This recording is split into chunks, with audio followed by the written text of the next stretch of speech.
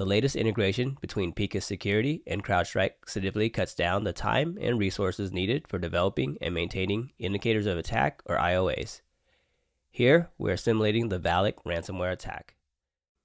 Valak ransomware is a sophisticated malware that is capable of extracting sensitive information, encrypting files, and deploying additional malicious payloads.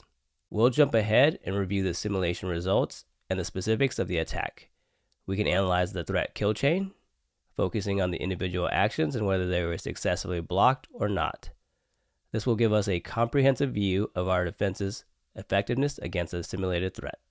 We can see that CrowdStrike Falcon Insight EDR effectively blocked the download of a malicious file and prevented the launch of another harmful file.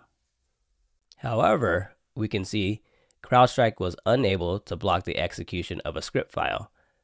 By clicking into the specific action, we can access a detailed view that includes the attack timeline and the systems that were affected. Selecting the Detection tab, we can easily access the CrowdStrike IOA.